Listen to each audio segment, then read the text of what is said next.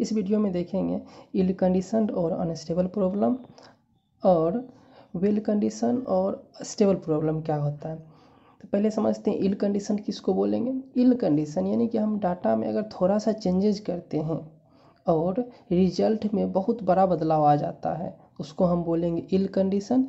Just इसके विपरीत होता है वेल कंडीशन। वेल कंडीशन किसको बोलेंगे?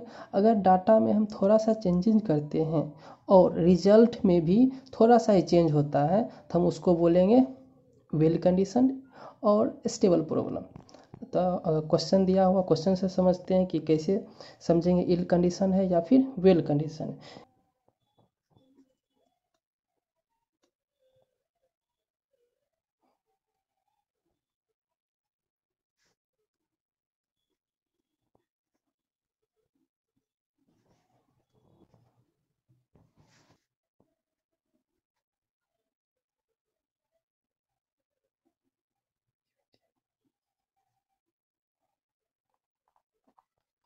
ये लीनियर इक्वेशन दिया हुआ है यहाँ पर। लीनियर इसमें चेक करना है कि ये इल कंडीशन है या नहीं। वेल कंडीशन नहीं पूछा, फिर भी हम आपको वेल कंडीशन भी साथ ही साथ बता दें, क्योंकि दोनों एक ही टॉपिक से रिलेटेड था इसीलिए। तो चेक करते हैं। हम क्या बताए थे इल कंडीशन में? इल कंडीशन बताए थे, अगर डाटा में थोड़ा सा चेंजिंग करेंगे तो रिज़ल्ट में भी थोड़ा सा चेंजिंग आएगा, तब हो जाएगा वेल कंडीशन अगर बहुत बड़ा बदलाव होता है तो होगा। कौन सा? इल कंडीशन या फिर उसको बोल सकते हैं अनस्टेबल प्रॉब्लम देखते हैं। पहले इसका सोल्यूशन निकाल के देखते हैं। सोल्यूशन अगर आप इसका आप करते हैं तो एक्स का वैल्यू आएगा।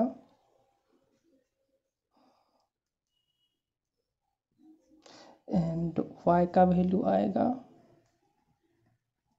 इसका हम बोल सकते हैं यूनिक सॉल्यूशन होगा। लिख सकते हैं। इट हैज़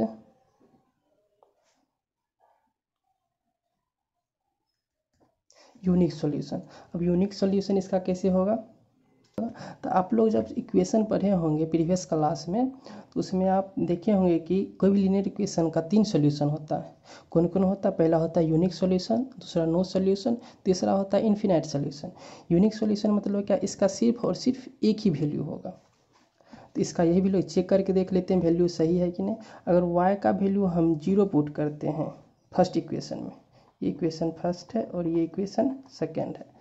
अगर फ़र्स्ट में हम y का वैल्यू ज़ीरो पुट करते हैं तो ये क्या हो जाएगा? ये टोटल मल्टीप्लाई होकर ज़ीरो हो जाएगा।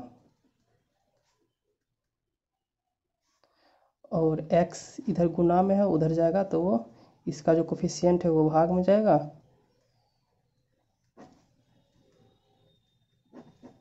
अब देख लीजिए, इसका आंसर क्या एक आ गया।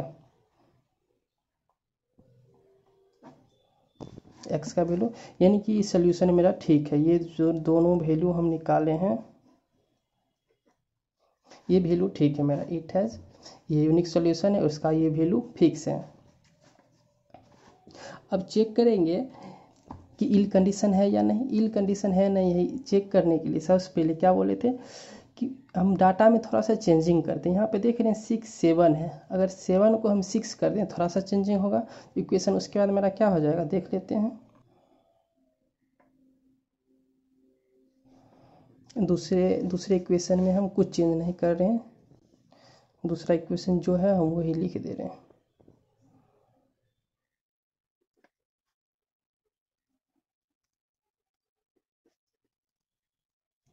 दूसरा हम कुछ नहीं, इसमें बस यहाँ पे चेंजिंग किए हैं। अब क्या करते हैं, दोनों को सब्ट्रैक्ट कर देते हैं। माइनस माइनस माइनस प्लस था तो माइनस दे दिए। इसमें सब्ट्रैक्ट का यहाँ टू एक्स है वन एक्स उसमें सब्ट्रैक्ट हो रहा है तो वन एक्स बचेगा यहाँ पर। वन एक्स और इसमें से ये घट के क्या आ जाएगा? तीन तीन है तो zero point three three three और यहाँ पे वन पॉइंट ज़ीरो ज़ीरो आ जाएगा। अब उसको उस साइड कर देते हैं। तो one point zero zero X यहीं इसी साइड रखते हैं एक्स को। पहले से वन है वहाँ पर, और ये जाएगा तो। और x का इधर को कोफिशियंट मल्टीप्लाई में उधर जाएगा डिवीज़न और एक से डिवाइड देंगे तो कोई फ़र्क पड़ने वाला नहीं है।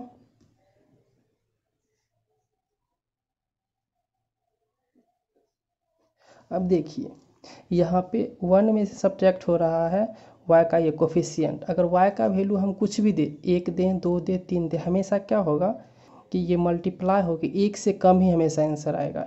एक्स का जो वैल्यू होगा वो हमेशा एक से कम ही आएगा। लेकिन हम एक्स का यहाँ वैल्यू क्या निकाल रहे हैं? वन निकालें तो क्या मैचिंग कर रहा है इससे? नहीं। हमेशा ज़्यादा का डिफरेंट ले आ रहा है। तो ज़्यादा का डिफरेंट आ रहा है, इसलिए इसको हम कहेंगे क्या? इसीलिए यह इल कंडीशन है। अगर कम का डिफरेंस आता है तो इसको हम बोल सकते थे ये विल कंडीशन है। बस यही तो यहाँ लिख सकते हैं। Thus it is ill condition